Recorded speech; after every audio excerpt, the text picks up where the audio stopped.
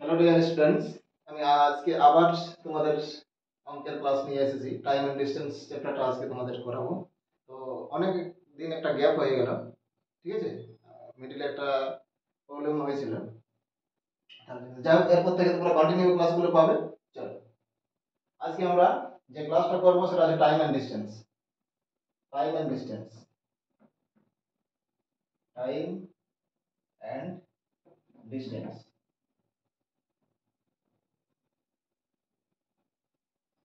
দেখো, কয়েকটা কথা বলে নি।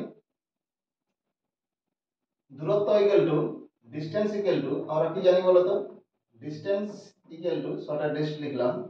Speed into time speed into time দূরত্ব ইকুয়াল টু কি হয়? স্পিড ইনটু টাইম ঠিক আছে? এটা শর্টে মনে রাখতে পারো। ডিস্টেন্সকে আমরা ডি বলব স্পিডকে আমরা এস বলব, আর টাইমকে আমরা টি বলব।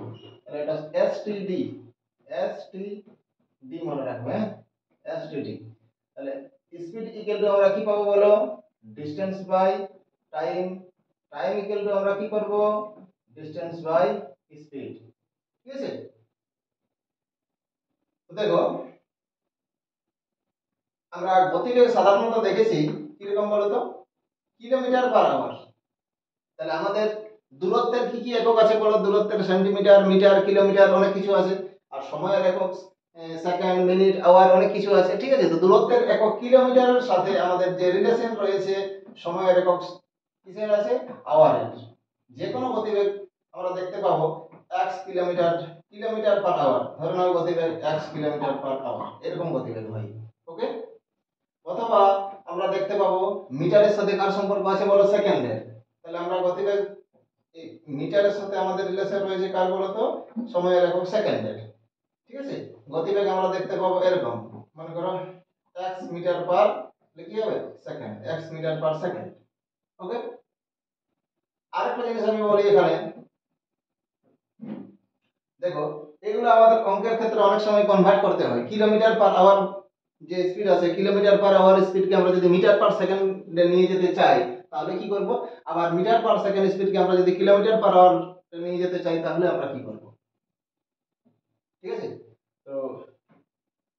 কিলোমিটার পার আওয়ারকে আমরা যদি পাঁচের আঠারো দ্বারা গুণ করে দিই, পাঁচের আঠারো দ্বারা যদি গুণ করে দিই, তাহলে হয়ে যাবে মিটার পার সেকেন্ড ঠিক আছে? তাহলে এক্স ইন্টু এত মিটার পার সেকেন্ড হয়ে যাবে। এইভাবে লিখে দিই, তাহলে বুঝতে সুবিধা হবে তোমাদের। এটা ইকুয়াল আমরা লিখতে পারি, x কিলোমিটার পার আওয়ার আছে, দেখো। তাহলে x ইনটু 5 এর 18 মিটার পার সেকেন্ড 5 এর 18 মিটার পার সেকেন্ড। যে কোনো কিলোমিটার পার আওয়ারে যদি স্পিডটা থাকে, তাকে তাকে আমরা যদি 5 এর 18 দ্বারা গুণ করি, সেটা মিটার পার সেকেন্ড হয়ে যাবে, ঠিক আছে? নেক্সট দেখো, স্পিডটা এখানে কি রয়েছে? X metre per second. তাহলে x মিটার পার সেকেন্ডকে আমরা যদি কিলোমিটার পার আওয়ারে করতে চাই, তাহলে ঠিক এর উল্টোটা। X ইনটু 18 বাই 5 দ্বারা গুণ করলে সেটা কি হবে? কিলোমিটার পার আওয়ার হয়ে যাবে। ঠিক আছে? তাহলে এই জিনিসগুলো আমাদেরকে একটু মনে রাখতে হবে। কি বললাম? বলো distance equal to speed into time distance equal to speed into time তাহলে আমরা শর্টে মনে রাখব এসটিডি এসটিডি যেটা এখন আর নাই এসটিডি তাহলে এস ইকুয়াল টু কি হবে? মানে speed equal to distance by time time equal to কি হবে? ডিসটেন্স বাই স্পিড আর আমরা কি দেখলাম এখানে কিলোমিটারের সাথে কার সম্পর্ক আছে? আওয়ারের যে কোনো গতিবেগ আমরা দেখি কিলোমিটার পার আওয়ার তাকে মিটার পার সেকেন্ডে কনভার্ট করলে পাঁচের আঠারো দ্বারা গুণ করলে মিটার পার সেকেন্ড হয়ে যাবে। আবার গতিবেগ যদি মিটার পার সেকেন্ডে থাকে, তাহলে তাকে আঠারো বাই পাঁচ দ্বারা গুণ করলে সেটা কি হবে? কিলোমিটার পার আওয়ার হয়ে যাবে। ওকে? চলো। এগুলো তোমরা নোট ডাউন করতে পারো। দেখো, এরপর আমি শুরু করছি অঙ্কগুলো। এগুলো তোমরা এটা পজ করে খাতায় লিখে নাও।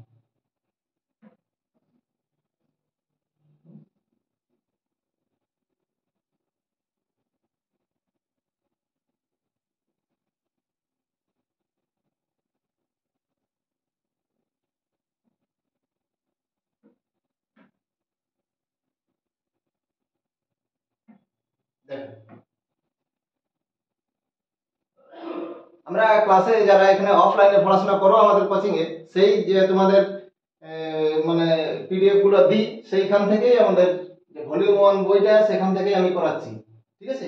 তো কিছু কিছু অঙ্ক আমি বেশি বেশি করে দিচ্ছি, বাকিগুলো তোমরা প্র্যাকটিস করবে। ঠিক আছে? এটা সবারই কাজে লাগবে।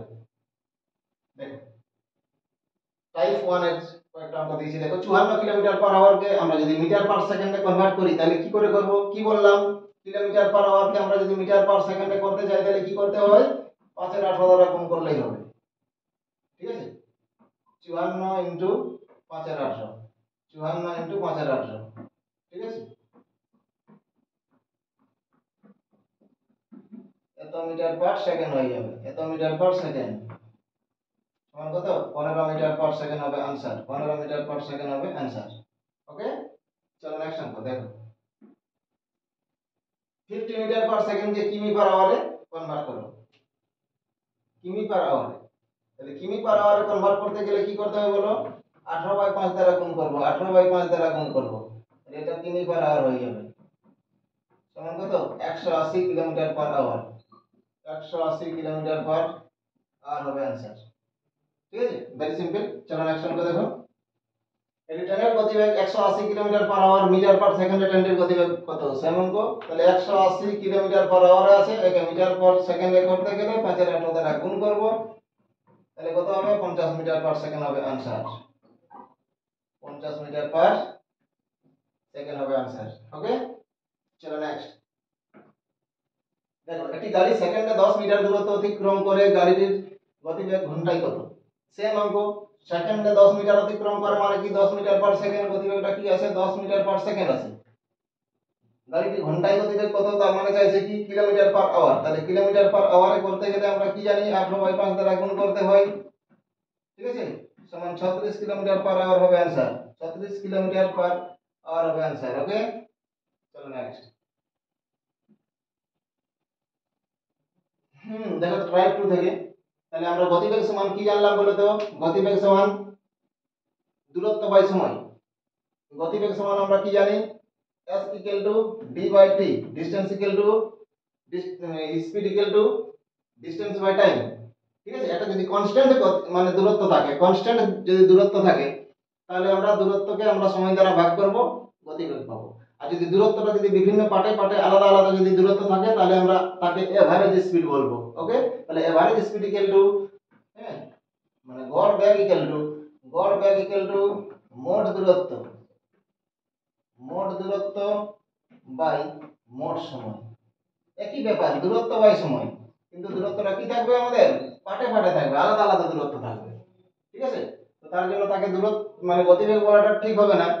গড় গতিবেগ বলব। বা গড় বেগ দেখো, প্রথমে এক ব্যক্তি চল্লিশ কিমি পার আওয়ার বেগে, দশ কিমি পার আওয়ার বেগে, চল্লিশ কিমি পথ, বারো কিমি পার আওয়ার বেগে, বাহাত্তর কিমি পথ এবং পনেরো কিমি পার আওয়ার বেগে, দেড়শো কিমি পথ অতিক্রম করে সমগ্র যাত্রা পথে তার গড় গতিবেগ কত চেষ্টা বুঝতে পেরেছ?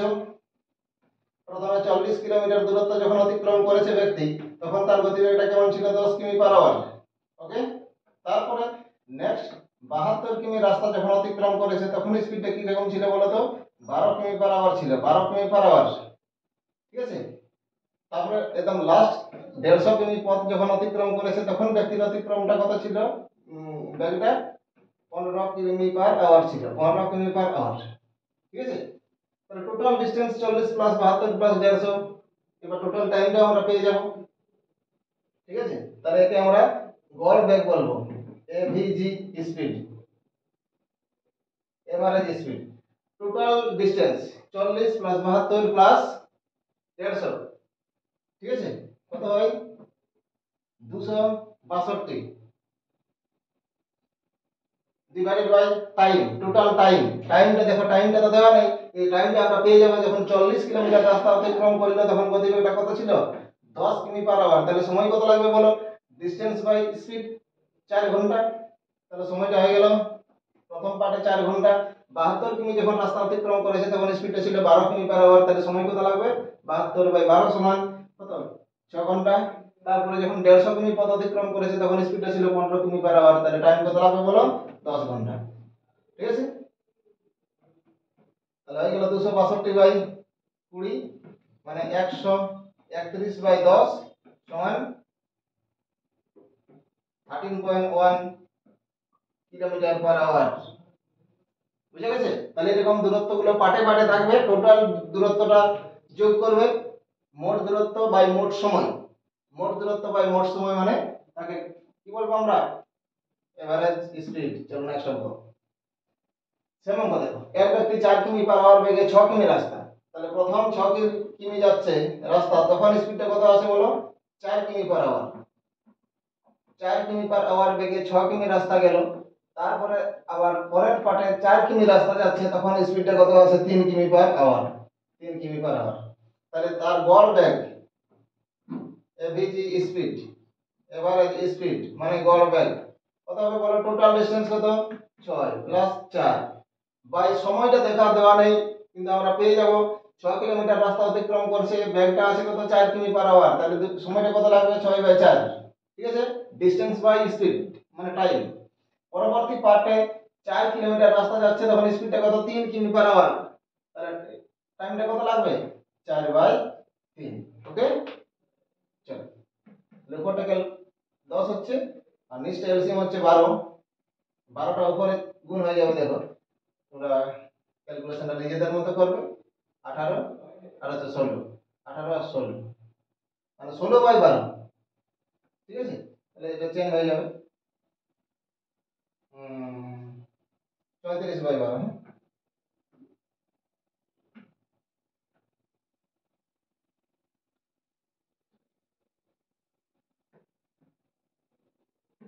এটা কাটলে হবে তোমার সতেরো এটা কাটলে হবে পাঁচ তাহলে ষাট বাই সতেরো সমান তিন পূর্ণ নয় সতেরো কিলোমিটার পার আওয়ার ওকে চলে যাই আমরা নেক্সট অঙ্কে। দেখো, আবার আরেকটা গড় বেগের কীরকম হয় দেখো, যদি দুটো রাস্তা সমান হয়, এক ব্যক্তি কোনো স্থান ছত্রিশ কিমি পার আওয়ার বেগে গেল এবং পঁয়তাল্লিশ কিমি পার আওয়ার বেগে ফিরে এলো, সমগ্র যাত্রা পথে তার গড় বেগ কত? ঠিক আছে? এক ব্যক্তি এইখান থেকে এখান পর্যন্ত মনে করো গেল, ছত্রিশ কিমি পার আওয়ার বেগে। ছত্রিশ মিনিট পার আওয়ার বেগে। আবার ওই দিকে ফিরে আসছে কীরকম? পঁয়তাল্লিশ মিনিট পার আওয়ার বেগে, এদিকে ফিরে আসছে। ঠিক আছে? তো দুটো রাস্তা যদি একই ডিস্টেন্স হয়, দুটো পথ যদি সমদূরত্ব হয়, তো সেরকম কীরকম হবে? এখান থেকে তুমি এখানে এলে, আবার এখান থেকে এখানে চলে গেলে গেলে আর এলে। তাহলে ডিস্টেন্স দুটো কি আছে? সমান আছে। আবার একটা কেস হতে পারে, তুমি এদিকে ফিরে না আসে যদি এদিকেই আবার তাহলে চলে আসো তাও দুটো রাস্তা সমান হবে। তাহলে দুটো দুটো রাস্তা যদি সমান হয়, তাহলে গড় বেগ সমান এটা এই ফর্মুলাটাও তোমরা ইউজ করতে পারো। Two x y by x plus y মনে রাখবে, কিন্তু দুটো যদি সমদূরত্ব হয় দুটোর পাটের দূরত্ব যদি সমান হয়, তাহলে গড় বেগ সমান two x y by x plus y what is x what is y x মানে একটা গতিবেগ আর ওয়াই মানে আরেকটা গতিবেগ ওকে বসিয়ে দাও ফর্মুলা তাহলে টু ইন্টু ছত্রিশ ইন্টু পঁয়তাল্লিশ ডিভাইডেড বাই ছত্রিশ প্লাস পঁয়তাল্লিশ। ঠিক আছে? চলো, তাহলে এই ছত্রিশ আর পঁয়তাল্লিশ যোগ করলে আছে তোমার একাশি। তাহলে ন বারে কাটলে হবে নয়, এটাকে ন বারে কাটলে হবে তোমার পাঁচ, এটাকে নয় আর এটা তাহলে চার তাহলে চার পাঁচে কুড়ি কুড়ি দুগুণে চল্লিশ কিলোমিটার পার আওয়ার চল্লিশ কিলোমিটার পার আওয়ার হবে আনসার ওকে চলো নেক্সট অঙ্কে চলে যাই। মনে রাখবে এটা হ্যাঁ? দুটো পথ যদি সমান হয়, দুটো রাস্তা যদি সমান সমান হয় তাহলে গড় বেগ সমান two x y by x plus y next দেখো। দেখো এরপরে একটা আলাদা টাইপের অঙ্ক। যারা অফলাইনে ক্লাস করেছ, করছ এখানে, তারা নিশ্চয়ই বুঝতে পারছ। দেখো, দুই ব্যক্তি আঠারো কিমি দূরবর্তী দুটি স্থান থেকে একই সময়ে আড়াই কিমি পার আওয়ার এবং টু কিমি পার আওয়ার বেগে পরস্পরের দিকে যাত্রা শুরু করে কত সময় পর তার মিলিত হবে।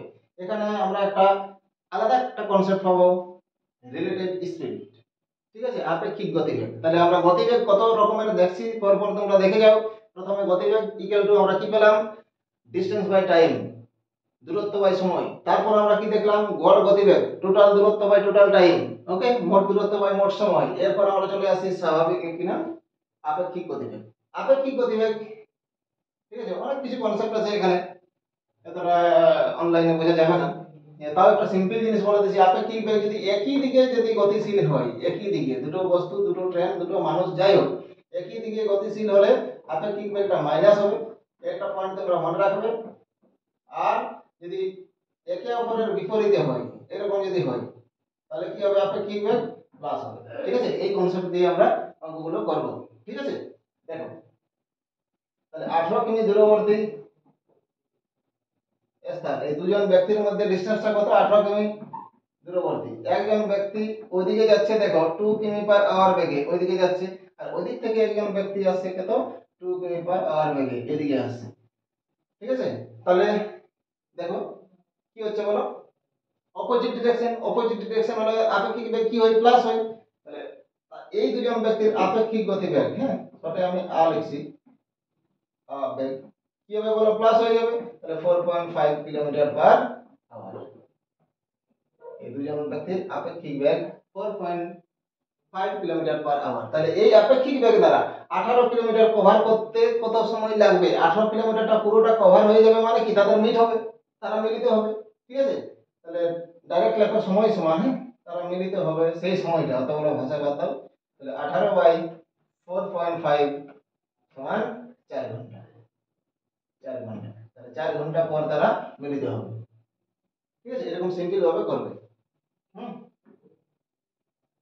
দেখো নেক্সট অঙ্কে চলে যাই আমরা।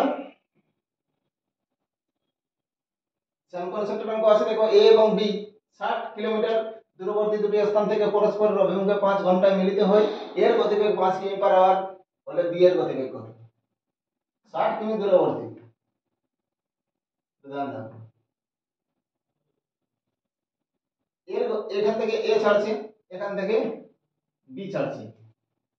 পাঁচ ঘণ্টা পরে মিলিত হচ্ছে। এর গতিবেগটা দেওয়া আছে দেখো পাঁচ কিমি পর আবার বেগে এদিকে যাচ্ছে। আমরা বি এর জানি নি জানি নাই। তাহলে কি করব? ধরে নিচ্ছি আমি বি এর গতিবেগ এক্স কিমি পার আওয়ার বি আসছে এদিকে। তাহলে এই দুজন ব্যক্তি এ এন্ড বি এই দুজন ব্যক্তির আপেক্ষিক বেগ কি হবে বলো? আপেক্ষিক বেগ কি হবে বলো? প্লাস হয়ে যাবে। Five plus x kilometre per তাহলে আমরা ওই এই ফর্মুলাটা সবসময় তোমরা মনে রাখবে এস টি ডি হ্যাঁ এটা ভুলবে না। এস টি ডি এটা দিয়ে অঙ্ক, অঙ্কগুলো সব হবে, দেখো। তাহলে এখানে ডিসটেন্স বলতে কত? ষাট কিলোমিটার। আর গতিবেগ? তাহলে ডিসটেন্স ইকুয়াল টু আমরা কি জানি? স্পিড টু টাইম স্পিড মানে এখানে রিলেটিভ স্পিড আপেক্ষিক বেগ কত? 5 প্লাস x ইনটু সময়। সময়টাই দেওয়া আছে, দেখো। সব কিছুই দেওয়া আছে। সব কিছু জিনিস দেওয়া আছে। এখানে আমরা এইটা একটু বার করে নেব আপেক্ষিক বেগটা একই দিকে গেলে মাইনাস হবে, উল্টো দিকে গেলে প্লাস হবে, মনে রাখবে চলো, পাঁচে আর এটি কাটবে, বারো হবে, পাঁচটা এদিকে আসবে এক্স ইকুয়াল টু কত হবে? সেভেন তাহলে সাত কিলোমিটার পার আওয়ার আমরা পেয়ে গেলাম বি এর গতিবেগটা। ওদিক থেকে আসছে কীরকম? সাত কিলোমিটার পার আওয়ার বেগে। ঠিক আছে? নেক্সট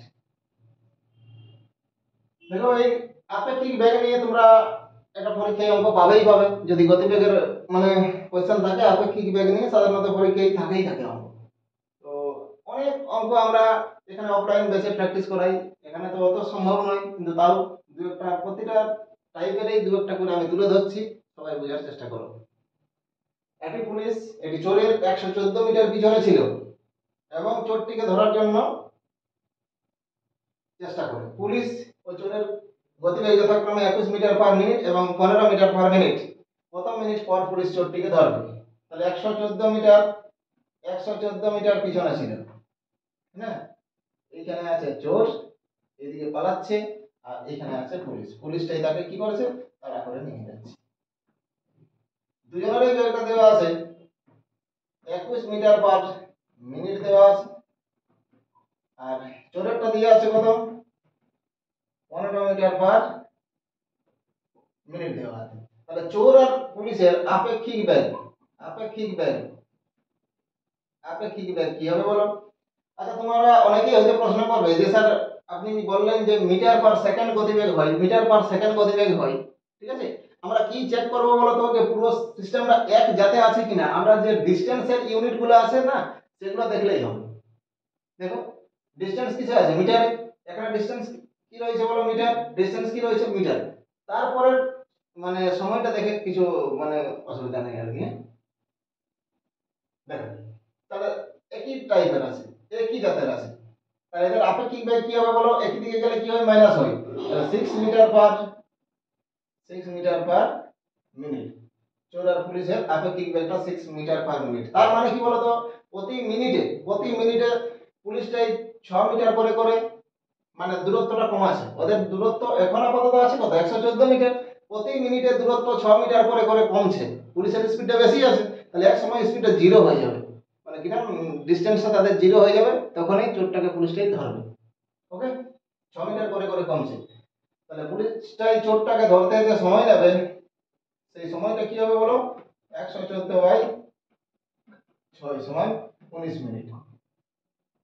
উনিশ মিনিট পর পুলিশ চোরটিকে ধরবে, এটা হবে আনসার ঠিক আছে? চলো নেক্সট কোনটা চলে যাই আমরা।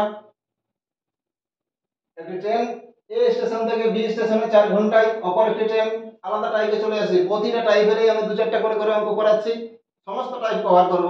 তোমরা একটু বোঝার চেষ্টা করো। আমি বারবার বলছি অফলাইনে অনেক অনেক অঙ্ক করাই, যেখানে দু চারটা স্যাম্পল দেখাচ্ছি আমি। একটি ট্রেন এ স্টেশন থেকে বি স্টেশন চার ঘন্টায় অপর একটি ট্রেন বি স্টেশন থেকে এ স্টেশন আট ঘন্টায় অতিক্রম করে। তারা একই সময়ে স্টেশন দুটি থেকে পরস্পরের দিকে যাত্রা শুরু করলে কত সময় তারা মিলিত হবে? ঠিক আছে? এবার একটু ভালো করে বুঝি। তাহলে একটা এ থেকে কোথায় যাবে? বি তে। এ থেকে বি স্টেশন পৌঁছাতে সময় লাগে কত? চার ঘণ্টা। ওকে? যাবে কোন দিকে এদিকে?